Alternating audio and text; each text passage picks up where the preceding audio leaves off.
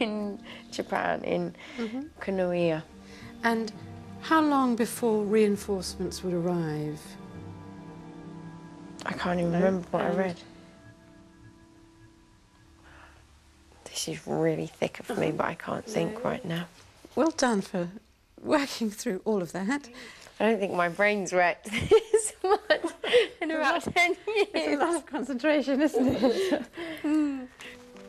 The way Kara processes language gives Catherine a clear cut diagnosis. because of the dyslexic difficulty of decoding or breaking down words into their sounds, the effort that, that you are putting into to really make sure that you're reading the words accurately means that you're not holding on to the meaning at the same time.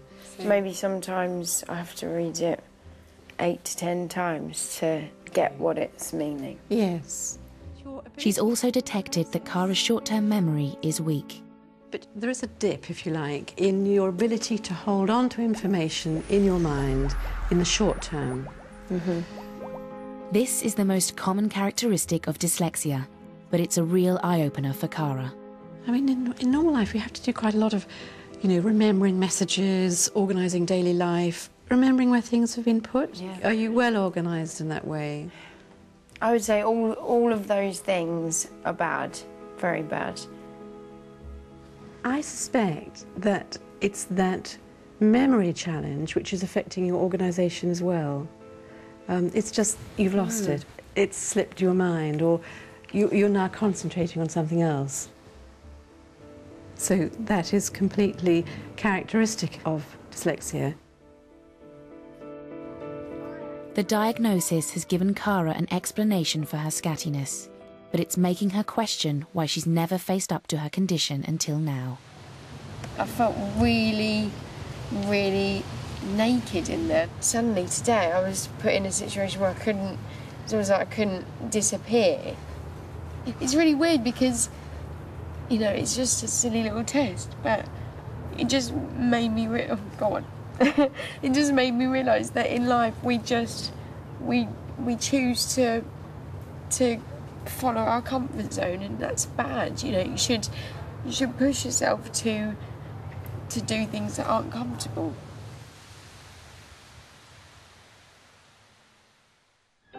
Kara now realises that dyslexia has been holding her back more than she'd imagined. Since leaving EastEnders a year ago, she's been back on the audition circuit where she has to be able to read and learn scripts fast. My first line is Ryan buys two breakfasts and doesn't eat both himself. Um, I'm still asleep. What? Ryan buys two breakfasts and doesn't eat both himself. Ryan buys two. Over the years, Kara has developed her own ways of getting around the difficulties caused by dyslexia. My system is I read a line and then I'll write it down, and then I just keep adding a line every time, more and more, until it really funnels in. But writing each line out more than 10 times is a lengthy and painstaking process. I hate this part really. If this was what acting was about, I probably wouldn't do it because. But when you get there and start saying it out loud, that's when you realise that you it's how amazing it is. It's worth this part. Kara often has to rely on her mum and dad to get the lines right. Mum? Yeah. Would you mind giving me a hand, please? Do you know where you come in? Yep. So Molly, four replies in three days. The box room there. It's small, but if you get rid of all the stuff, you can fit a bed in. No? The, it's not. It's the box room. It's the box room there. I'm not acting it at the moment. I'm just going learning the lines. Okay, all right. Plan It's small, but just if you, Dad, I need to learn that one. Um, it's small, but if you clear the stuff out, you can fit a bed in. It's small. It's small, but if you clear the stuff out, you can get a bed in. If you get the stuff out, clear the stuff out. It's small, but if you clear the stuff out, you can get a bed in. Action. Many dyslexics find ways of getting around their difficulties, and relying on loved ones is common. When it comes to the audition the next day, Kara's on her own.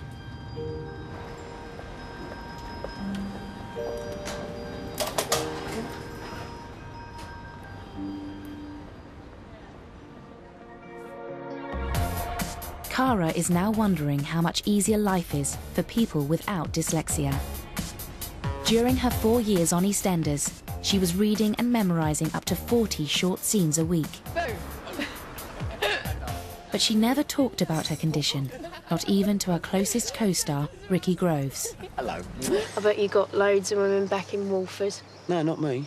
Yeah, right. No, I'm all about respect and commitment. We never discussed my dyslexia at work, did no, we? no, we never did. In the four years I was there. No, it never really appeared with you. You know, I think Really? you, well, you know, like all of us, you know, we had our uh, ups and downs with regards to like good days and bad days. But it was never a case of like, oh no, here comes the dyslexic again. You know what I mean? But so I'd do one line and Yeah. then I'd, I'd go over, I'd write it down about seven times, and then the second line I'd add to that and write the two lines seven times, Seven times. and just keep Really? adding a line. Wow, I didn't know that. I did not know that. And then I'd learn your But it didn't lines. show.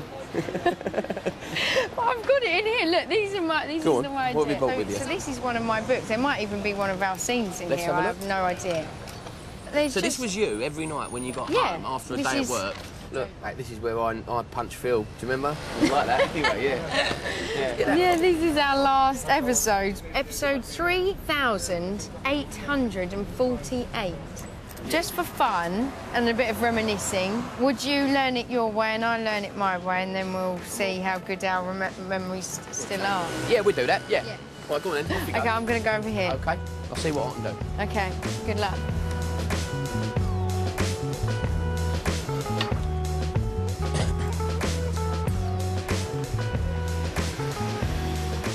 Non dyslexics like Ricky take it for granted that they can read and retain information. Kara and other dyslexics often have to work much harder to do the same thing. Have you learned it yet? Yeah. Wow. You've got a lot more than me, though. I did Yeah, that's a point. You haven't got that much. Well, I just said that to them. Don't ever go at me. There's a big difference in the time it's taking each of them. And this is just the last of over 150 episodes they acted together. To learn a scene like that, that scene probably take me, uh, on average, I suppose, you'd look at it for sort of 10, 15 minutes. And this was our last scene, so I'd probably have spent, goodness me, three hours maybe? Right. I'm ready. Okay. Are you ready? Yeah. I'm quite excited. Do you know what I've realised doing this though? What have you realised? I have realised how good my long-term memory is, and if they gave this to us a year before we filmed, I'd be blooming amazing. Think so? Let's See how it goes. Okay. Ready? Yeah. Gary! Gary! Stop the boat! Stop the boat. I don't know how to. You always make me laugh, Gary. Thanks for that. No, I'm not talking a little chuckle here. I mean right from the pit of my belly laughing. Oh, I'm good for something then, am I? You're good for a lot of things. So what if you've got a paunch and you're losing your hair? It's just the way it's style. But I think. Don't tell me. You've all. Every time I've needed you, you've always been there for me. I did it right eh? there. Done well. Aww. Oh, so Happy days. Happy days. Take care. Au revoir. Bye bye. Mes amis. I'm going this way. I'm going this way.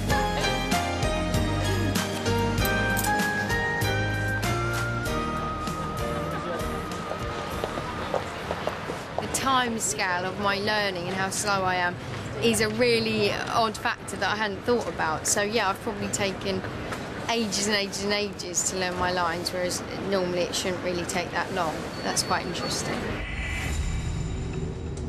Kara's realizing how little she's understood until now about how dyslexia defines her.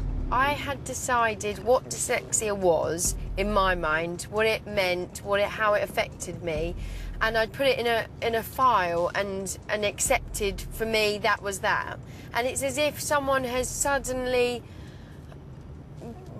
added all these things that is blowing that are kind of blowing my mind. She's now going to find out how different her brain function is to that of non dyslexics. Her brain scan results are through. When it came to reading familiar words, people of your age and intelligence are normally much quicker and more accurate when they're reading them. Mm-hmm. So you were dyslexic insofar as you were slower to respond. Mm-hmm. Kathy has discovered that Kara uses the same pathways in her brain to read as those without dyslexia, but she's using much more effort. So you were saying horse and donkey. But despite reading easy words, your brain is still working particularly hard. To read out words, Kara's brain must visually recognise the letters of a word, put those letters together, work out the meaning of the word, and then finally say the word out loud. This red is how high your activity was, and you can see that it's higher than all of the other typical readers. People who are speaking in a second language, when they're reading in English, they also show hmm. more activity. I'm almost working like a French person reading Yes. English. yes, but these are exactly. oh God, that is, that's not good then, is it? Despite the brave face, finding out that her memory and reading are significantly slower is troubling for Kara. I know this is a bit dramatic, but I end up sort of hating myself because I can't seem to get anything right sometimes. It really is in my hands now, and if I want to make certain changes in my life, it's it's really down to me putting the work and the effort in. Dyslexia can't be cured, but specialist tuition can help adult dyslexics manage the everyday tasks made tricky.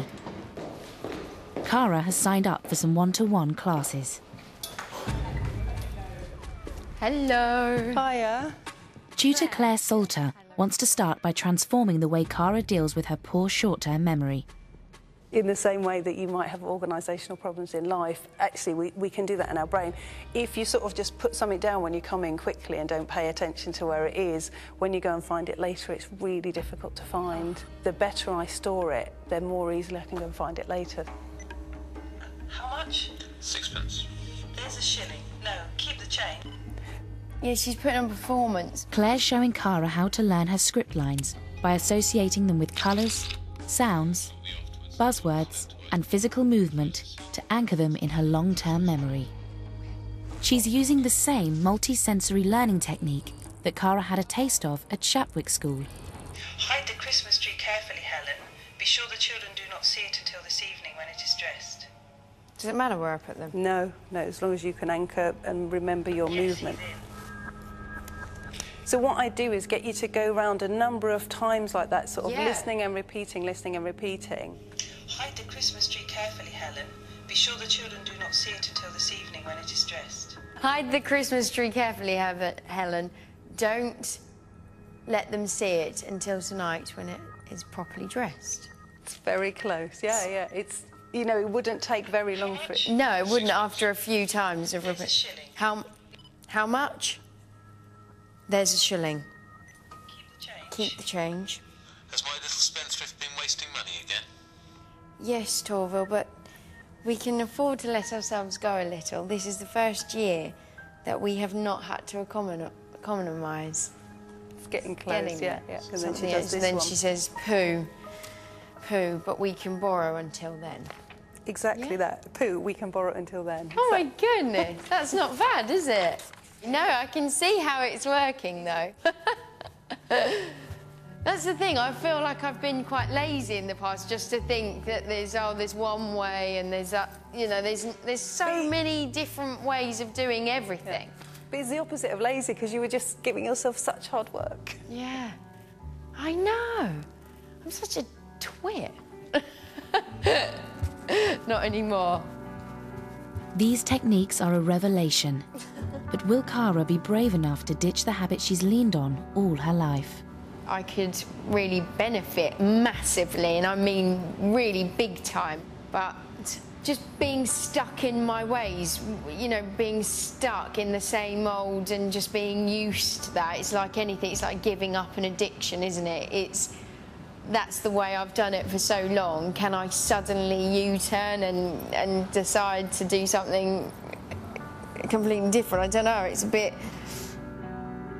I'm hoping